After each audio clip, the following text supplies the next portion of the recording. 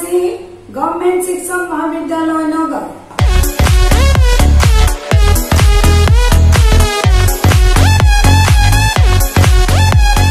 ইতিমধ্যে আমি আলোচনা কৰি আছিলো report writing in action research আৰু এই ৰিপৰ্ট ৰাইটিং কি তাৰ ওপৰত আমি আলোচনা কৰাৰ লগে লগে ষ্টাইল আৰু ফৰ্মেটলৈ আমি আহিছিলো আৰু আমি যিটো ৰিপৰ্ট ৰাইটিঙৰ ফৰ্মেট তাৰ আমি প্ৰিলিমিনেৰী ছেকশ্যনটো আলোচনা কৰিলো য'ত লিখিব লাগে বুলি মই কৈছিলো যে ৰিচাৰ্চাৰজনৰ identification statement of the problem বা তেওঁৰ ডিক্লাৰেশ্যন চাৰ্টিফিকেট বা একনলেজমেণ্ট প্ৰিফেচ ইত্যাদি আজি মই আলোচনা কৰিম তাৰ যিটো মেইন ছেকশ্যন অৰ্থাৎ ৰিপৰ্ট ৰাইটিং এটা কৰিবলৈ যাওঁতে কোনখিনি মেইন ছেকশ্যন হয় সেই মেইন ছেকশ্যনখিনিৰ কথা মই আলোচনা কৰিম। সেই মেইন ছেকশ্যনখিনিৰ কথা আলোচনা কৰিবলৈ যাওঁতে প্ৰথমে আহিব ইন্ট্ৰডাকশ্যন সেই ইন্ট্ৰডাকশ্যনত কিন্তু আগৰ ইন্ট্ৰডাকশ্যন আমি লিখিছো কাৰণে ইয়াত যে লিখিব নালাগিব সেইটো নহয়। যিহেতু এইটো মেইন ছেকশ্যন ইয়াত গোটেই আৰম্ভণিৰ পৰা শেষলৈকে গোটেই কথাখিনি ইয়াত সন্নিৱিষ্ট হ'ব। সেই ইয়াৰ যিটো ইন্ট্ৰডাকশ্যন ষ্টেপ তাত ৰিচাৰ্চাৰে কিয় সেই প্ৰব্লেমটো বাছি ললে সেই প্ৰব্লেমটোৰ পৰা তেওঁ কি আশা কৰিছে সেই প্ৰব্লেমটো ললে ফিল্ডখনত কি লাভ হব বা তেওঁ কেনেধৰণেৰে আশা কৰিছে সেই ষ্টাডিটোৰ যুক্তিপূৰ্ণ বিৱৰণ অৰ্থাৎ ৰেচনেলি অফ দ্য ষ্টাডি এই গোটেই কথাখিনি জুকিয়াই ইন্ট্ৰডাকশ্যন ষ্টেপটোত লিখিব। আৰু সেই ইন্ট্ৰডাকশ্যন ষ্টেপটো লিখাৰ পিছতে ৰিচাৰ্চাৰে প্ৰব্লেমটো ষ্টেটমেণ্ট কৰিব প্ৰব্লেমটো কিয় বাছি লৈছে তাৰ অবজেক্টিভছ লিখিব তাৰ ৰিচাৰ্চ কুৱেশ্যনৰ লগত মিলাই একশ্যন হাইপথেচিছ ফৰ্মুলেট কৰিব আৰু প্ৰয়োজন সাপেক্ষে review of related research work লিখিব। ইয়াৰ পিছতে ৰিচাৰ্চাৰে যিটো ৰিচাৰ্চ ডিজাইন বনাইছে অৰ্থাৎ ৰিচাৰ্চ ডিজাইনত তেওঁ যিটো ৰিচাৰ্চ ৱৰ্ক সেই ৱৰ্কটো কেনেদৰে লৈ যাব? কি মেথড এপ্লাই কৰিব? কি চেম্পুল ল'ব? কি ডাটা ল'ব? ডাটাবিলাক কি কি চৰ্চৰ পৰা ল'ব? আৰু সেই ডাটাবিলাক কেনেদৰে এনালাইচিছ কৰিব?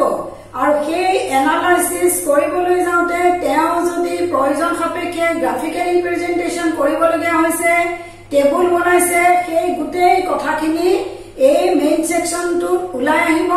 আৰু লিখিব লাগিব ইয়াৰ লগে লগে তেওঁ সেই ৰিচাৰ্চ ৱৰ্কটো কৰাৰ পৰা কি ফাইণ্ডিংছ পালে সেই ফাইণ্ডিংছটো লিখিব আৰু সেই ফাইণ্ডিংছৰ জৰিয়তে তেওঁ যিটো ফিল্ডত সেই ৱৰ্কটো কৰিলে যদি সেইটো এডুকেশ্যন ফিল্ড হয় সেইটো যদি এনভাইৰনমেণ্ট ফিল্ড হয় ইত্যাদি যিবোৰ ফিল্ডত তেওঁ সেই ৱৰ্কটো কৰিলে সেই ফিল্ডখনত তেওঁ এটা ৰিকমেণ্ডেশ্যন তেওঁৰ এটা ছাজেশ্যন তাত থাকিব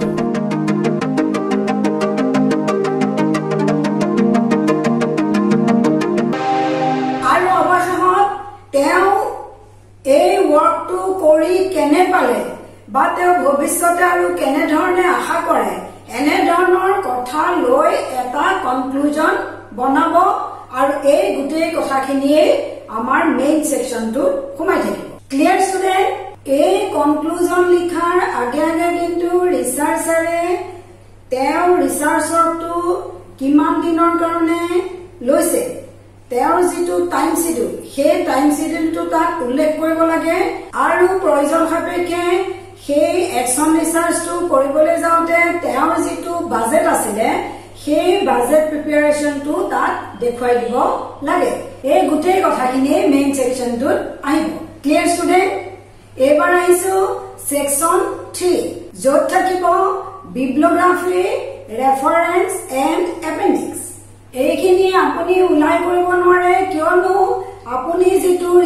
ৱৰ্ক কৰিবলৈ গৈছে সেই ৰিচাৰ্চ ৱৰ্কটো কৰিবলৈ যাওঁতে আপুনি বেলেগ বেলেগ ৰেফাৰেঞ্চ লৈছে বেলেগ বেলেগ কিতাপ পঢ়িছে বেলেগ বেলেগ চ'ৰ্চলৈ গৈছে এই গোটেই চ'ৰ্চখিনিয়ে আপুনি তাত উল্লেখ কৰিব লাগিব আপুনি যি যি ৰেফাৰেঞ্চবোৰ পঢ়িছিলে পৰাপক্ষত সেই কিতাপৰ নামবোৰ এলফাবেটিকেল অৰ্ডাৰত হোৱাটো বাঞ্ছনীয় লগতে সেই কিতাপখন কেতিয়া পাব্লিছ হল পাব্লিছাৰৰ নাম অথৰৰ নাম সকলোখিনি ইয়াত উল্লেখ কৰিব লাগে।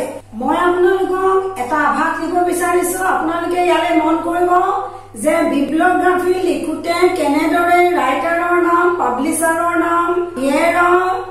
পাব্লিছিং এই কথাবোৰ কেনেদৰে লিখিব লাগে মই এটা আভাস দেখুৱাইছো। ইয়াৰ পিছতে আপোনালোকে এপেণ্ডিক্স হিচাপে গাঁঠি দিব।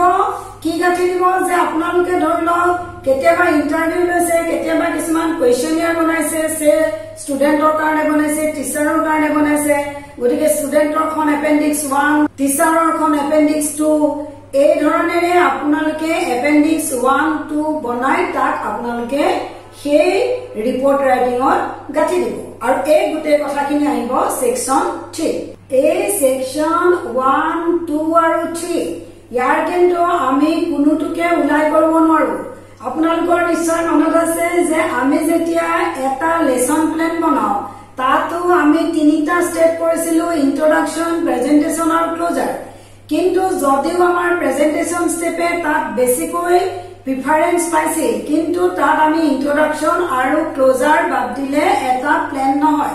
ঠিক একেধৰণে আপোনালোকৰ এই ৰিপৰ্ট ৰাইটিঙত যদিও মেইন ছেকশ্যন বুলি ছেকেণ্ড ছেকশ্যনটোৱে সুবিধা পাইছে কিন্তু ফাৰ্ষ্ট ছেকশ্যন আৰু থাৰ্ড ছেকশ্যন আমি কোনোপধ্যেই ওলাই কৰিব নোৱাৰো। আপোনালোকে মনত ৰাখিব যেতিয়া আপুনি একশ্যন ৰিচাৰ্চৰ ৰিপৰ্ট ৰাইটিং বনাব তেতিয়া এইকেইটা কথা কিন্তু সম্পূৰ্ণভাৱে উল্লেখ কৰিব আৰু এই গোটেইখিনি লিখাৰ অন্ততহে আপোনাৰ ৰিপৰ্ট ৰাইটিংটো কমপ্লিট হ'ব। মাই ডিয়াৰ ষ্টুডেণ্টছ মই যদিও কৈছিলো যে ষ্টাইল এণ্ড ফৰ্মেট সকলোখিনি নিৰ্ভৰ কৰে ৰিচাৰ্চাৰজনৰ ওপৰত কিন্তু এই ছেকশ্যনখিনি বাদ দি আপোনালোকে ফৰ্মেটটো বনাব নোৱাৰে। গতিকে ফৰ্মেটটো বনাবলৈ যাওঁতে আপোনালোকে এই ছেকশ্যনখিনিলৈ কিন্তু চকু দিবই লাগিব আৰু এই ছেকশ্যনখিনি অলপ ইফাল সিফাল হলেও ইয়াত কিন্তু ইয়াত সোমাই থাকিব লাগিব এইবাৰ আহিম আমি ষ্টাইল কি? এই ষ্টাইলৰ বিষয়ে মই মোৰ পৰৱৰ্তী ক্লাছত আলোচনা কৰিম। আজিৰ ক্লাছটো মই ইমানতে সামৰিছো। আপোনালোকৰ যদি কিবা ডাউট থাকে আপোনালোকে মোৰ কমেণ্ট বক্সত পঠাব আৰু মই আপোনালোকৰ ডাউটবোৰ ক্লিয়াৰ কৰিবলৈ সদায় প্ৰস্তুত আছো। ষ্টে হোম ষ্টে ছেফ নমস্কাৰ।